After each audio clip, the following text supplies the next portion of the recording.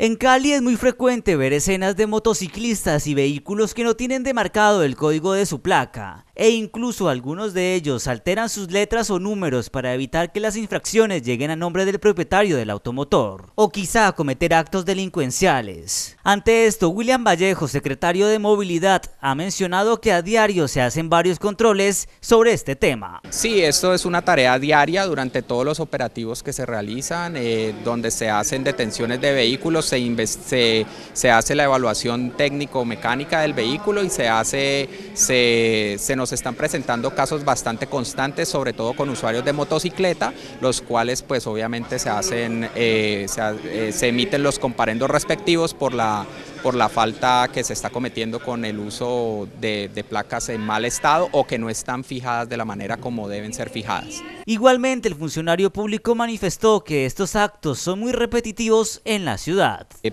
pero es una tarea que se hace a diario, o sea, yo a, diario eh, del grupo de supervisores recibo reportes con material tanto fotográfico como de video de acciones que se toman en esta tarea. Finalmente, desde la Secretaría de Movilidad han mencionado que por conducir un vehículo sin placas, no portarlas en el extremo delantero o trasero, portarlas con obstáculos o en condiciones que dificulten su visibilidad o códigos que correspondan a otros automotores o en su defecto adulteradas, la sanción corresponderá a 8 salarios mínimos diarios legales vigentes y en algunos de los casos la acción dará la inmovilización inmediata del vehículo.